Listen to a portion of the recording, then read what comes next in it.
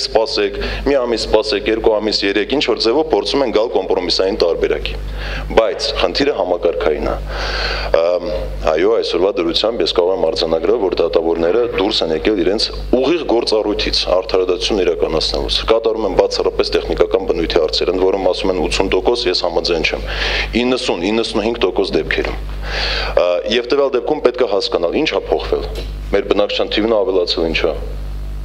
ինչ որ փոփոխություն կան։ Ես հիշում եմ օրինակ 5 քաղաքացիական դատավարության օրենսգիրքը նա ամենասկզբի կարելի ասել, հա, եւ որ ես նոր սկսում եմ 2008 թվականից սկսած։ Երկամսյա ժամկետ էր սահմանում։ Ոչ մեկ երկու ամսվա ընթացքում գործը չէր քնում, հարցը դա չէ, բայց 3-4 ամսում քննում էին ավարտում էին գործերը իրականում։ Էйման նոր քաղաքացիական դատավարության անձրկով. Սահմանել եք երամսյա ժամկետ, ասենք աշխատանքային վեճերի քննը։ Ումա պետք կներեք։ Ումա պետք դա սահմանելը, եթե տվյալ դեպքում դատավորները ուղղակիորեն ի վիճակի չեն։ Ես իհարկե շատ ուրախ եմ, որ այս քննարկումը ծավալվում է, չնայած մեծ հույսեր չունեմ։ Ես գտնում եմ, որ այս քննարկումը պետքա լինի համակարգային,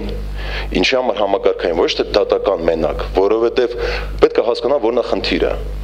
ով է 95% ծանրաբեռնում դատավորներին բանկը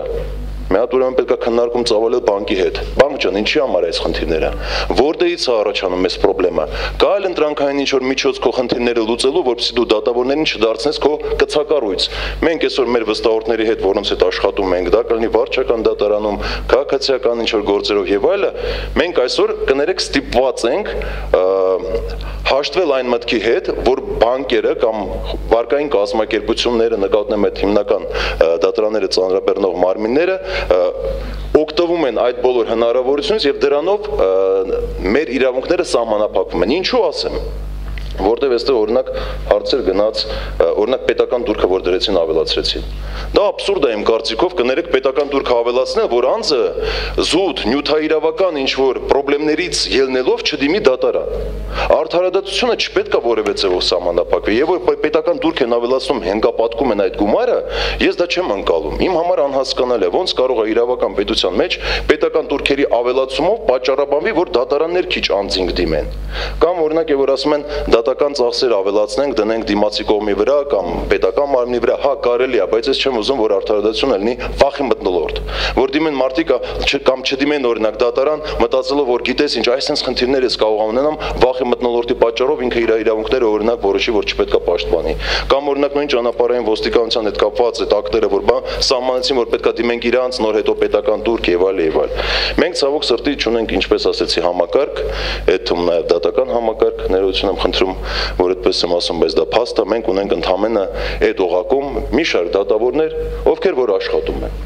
մի քանի հոգի ու իրականում հավաքեք մի քանի փաստաբանների հարցեք ովքեր են այդ դատավորները ինձ թվում է բոլորն նույն անունները ու ազգանունները կգտնեն այսինքն շատ լավ փաստաբանական համայնքը ինքը տեղյակ է ովքեր են այդ դատավորները ու կարող են մատերի վրա կոնկրետ ասել ովքեր են դատավորները կոնկրետ առաջիացանում վարչական դատարանում այնտեղ եւ այլ բայց խնդիրը այստեղ հետեւյալումն է. Լավ ասենք օրինակ էլեկտրոնային ծանուցում արեցինք կամ չգիտեմ ինչ դա կլուծի խնդիրը ոչ չի լուծի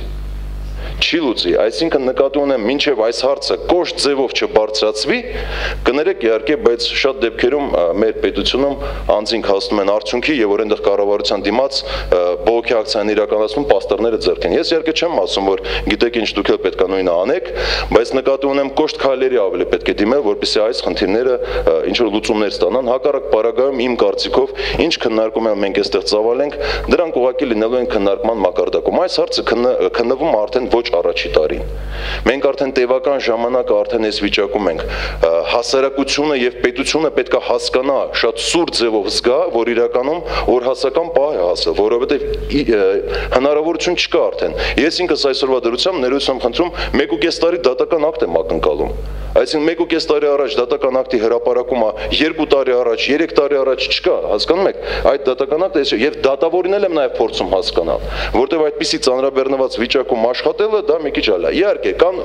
օբյեկտիվ ու սուբյեկտիվ պատճառներ, հարցը դա չէ։ Կան իհարկե, ասենք, եթե ուզում եք սուբյեկտիվ պատճառը տեսնել, ամենը պետք է գնալ դատական, ասենք, դատարանի արչև կանգնալ, տեսնել, որ դատավորը որ ժամին է գալիս գործի։ Դա արդեն սուբյեկտիվ գործոն է, բայց կան նաև օբյեկտիվ գործոն, որից օգտվում են նաև այդ սուբյեկտիվ գործոնից օգտվող մարդիկ։ Դրա համար ուզում եմ որպեսզի այդ հարցը լուծվի, այդ դրանից հետո եւ որ բոլոր հարցերը կկարգավորեն։ Մենք ինքներս նաեւ վստահաբար արդեն կպահանջենք